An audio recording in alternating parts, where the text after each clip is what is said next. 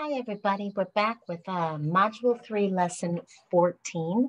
We're in your Succeed book. This is page 135, and it's the homework helper. We're just going to go over this a little bit before we dive in. Um, some of it is a little tricky. We have to really think hard, okay?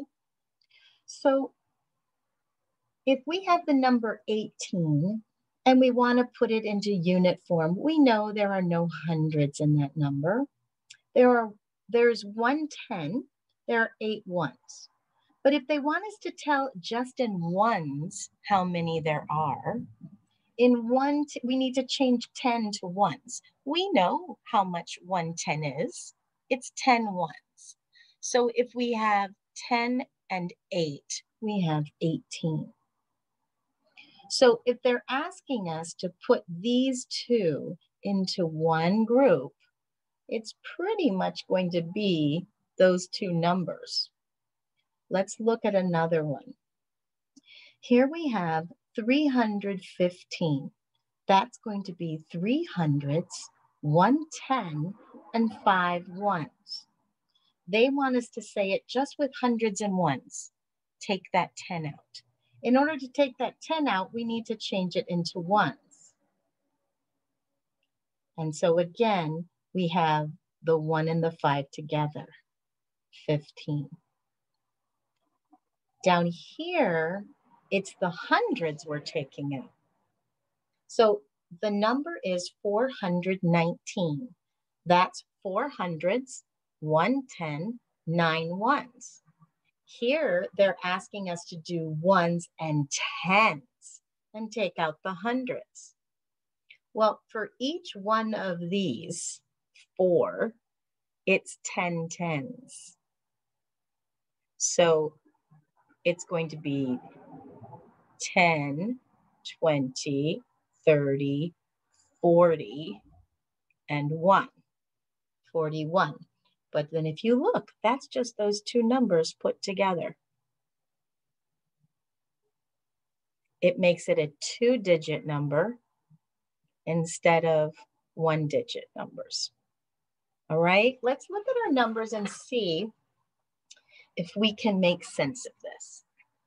16 has how many tens and how many ones?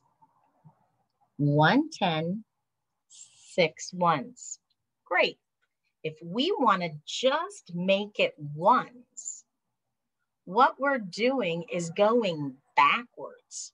We get to 10 ones, we change it in for a 10, but we could change it back.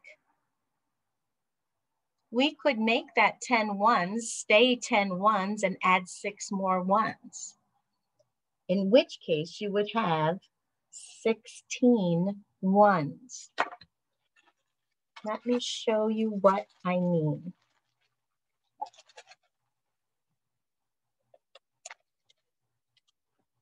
That's not quite 10 yet, I don't think. All right, so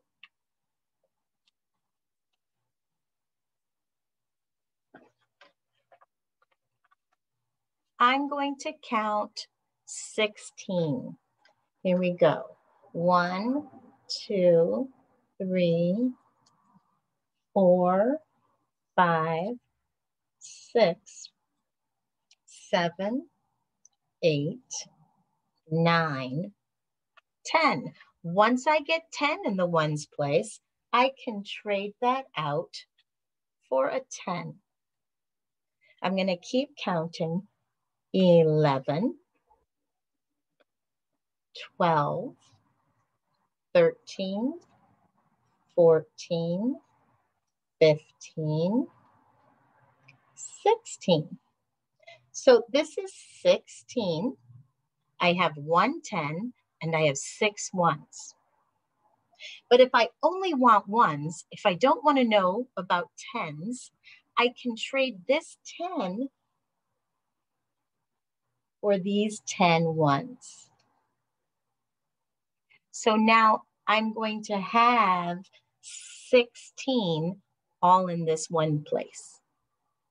So we have 16 ones instead of 110 and six ones. And we're going to do that for both ones and tens on this page. We have 217 in unit form, that is two hundreds, one ten, seven ones. They want us to get rid of the tens. So we're going to have to move it backwards. We're still going to have two hundreds, but now we've moved our 10 back over here. So we have 10 and 7 in the ones place, which is 17. Now we're going to do it with the tens and the hundreds. Our number is 320. That is three hundreds, two tens, and zero ones. They want us to do it without the hundreds. So we're still going to have zero ones. But now, for each of these hundreds, we're going to make it back into a group of tens. So we're going to have tens, 10 tens, three times. So count by 10 with me. 10, 20, 30, 32. 32. But as you can see, we've really just put those two digits together in the tens place. 139. That's going to be 100, three tens, and nine ones. What did they get rid of here? They want us to get rid of that hundred. All right. So our nines is going to stay the same. Our hundreds and tens are going to change. We need to take this 100 and turn it back into a group of 10 tens. So here we are going to have 10 and 3, which is 13. And again, we just put those two digits together. 473. Four hundreds, seven tens, three ones. What are we getting rid of? Oh, you can't see that. Here, we're going to get rid of the hundreds. So our ones are going to stay the same. Our hundreds and tens are going to change. For each of these hundreds, I'm going to change it back to a group of 10. So this is four groups of 10. 10, 20, 30, 40. I'm going to move that back over here, four groups of 10, and put 40 here. We have 47 tens. 47 tens. I know, strains the brain. We have 680. That is six hundreds. And how many tens? Eight tens. We want to know how much this is going to be if we just made it tens. For each of these hundreds, that was a group of 10 that we switched over to make a hundred, right? So for each one of those, it's going to be 10 tens. So we are going to count by 10 six times. 10, 20, 30, 40, 50, 60. We had 60 tens, and now there's eight tens, which is 68 tens. And again, you're really just taking those two numbers and instead of putting them in separate places, you're putting it back into one place. 817, 800s, oh, They didn't give us a place for tens. Eight hundreds, one ten, and seven ones. How many ones is that? 10, 7 is 17. Now, they're still going to let us do ones, but now they want to know how many, now they want to know how many tens there are. Okay, so in this number, 817, how many are actually ones? Is it 17? The actual number of ones is seven. So I need to take this 110 and figure out how many more tens I had. For each one of these hundreds, it was a group of 10 tens. So that is eight groups of 10, which is 80. So we have 80 and one more 10. 81 tens. And if you look at the first two digits of the number, it's as though we just squish the hundreds and tens together, or we squish the tens and ones together. Complicated, I know. We have two more to do and then a different kind of problem. So here we go, 921. That is nine hundreds. They didn't give us a place for tens. So 21 ones. But now we need to put it in tens and ones. We're getting rid of the hundreds and they're letting us count the tens. So that two is gonna be back in the tens place. What digit is in the ones place? Just a one there's really only one one. We need to know how many tens are there. There are nine hundreds. That means we made 10 groups of 10 nine times.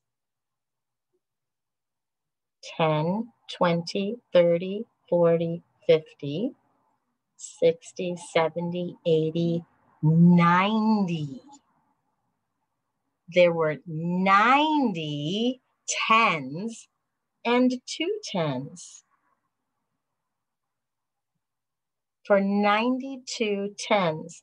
And if you look at it, it's like we just smushed those two digits into one. Instead of making it hundreds and tens and ones like this, we, in the first place, we left the hundreds and then we just smushed 21 into the ones. In the last place, we got rid of the hundreds and we smushed it over here so that we had 92 tens and one one. It's kind of strange, but we're still working with the same digits or just changing what we're calling them. Is it nine hundreds and two tens, or is it 92 tens? Is it 13 ones, or is it 110 and three ones? We can call it either one, all right? We are going to practice skip counting backwards from 350 to 240 I'm going to get out my place value discs. We have 350 and the directions say skip count by 10 from 350 to 240. So we are going to go backwards. 350, 340, 330, 320, 310, 300. Now, in order for me to continue skip counting by tens, I need to be able to take some tens away. And I can't do that right now because there aren't any tens.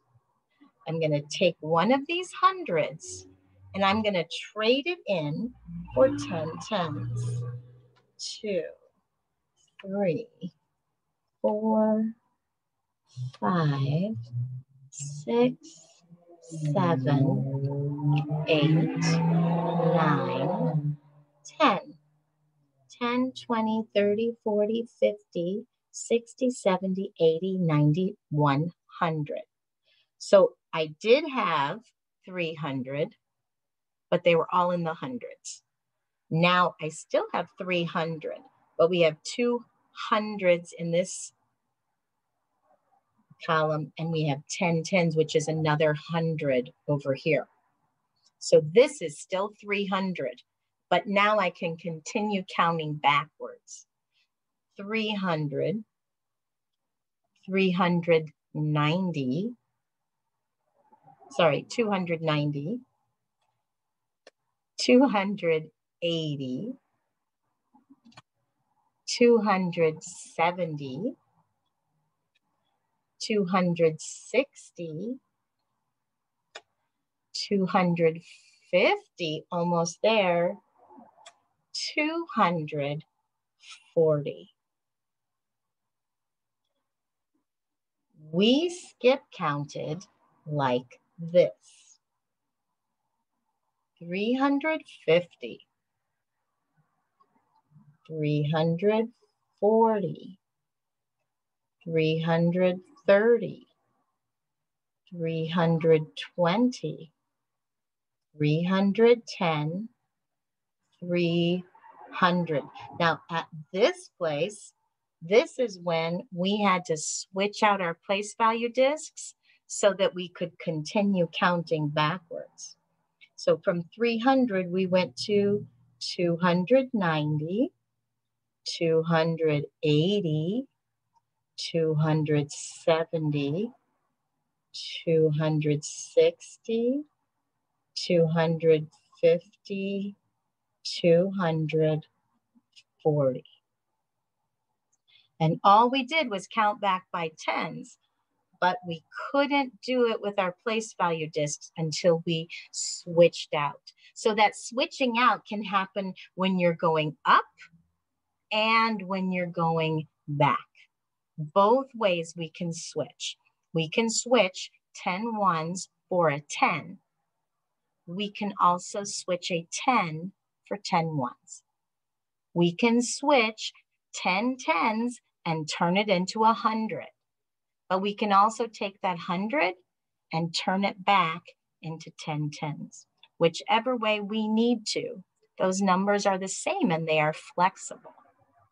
I know that was hard. Thank you for working so hard with me. I'll see you next time.